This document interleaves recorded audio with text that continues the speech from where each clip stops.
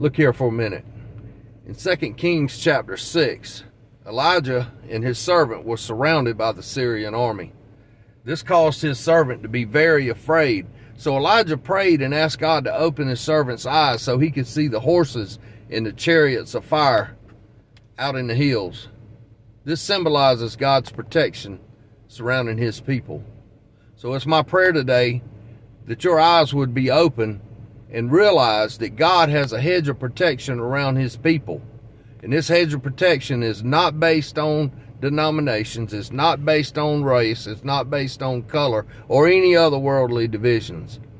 You know, we actually outnumber the enemy 10 to 1. So just remember, God loves you, I love you. So keep giving, keep sending, and by all means, keep going.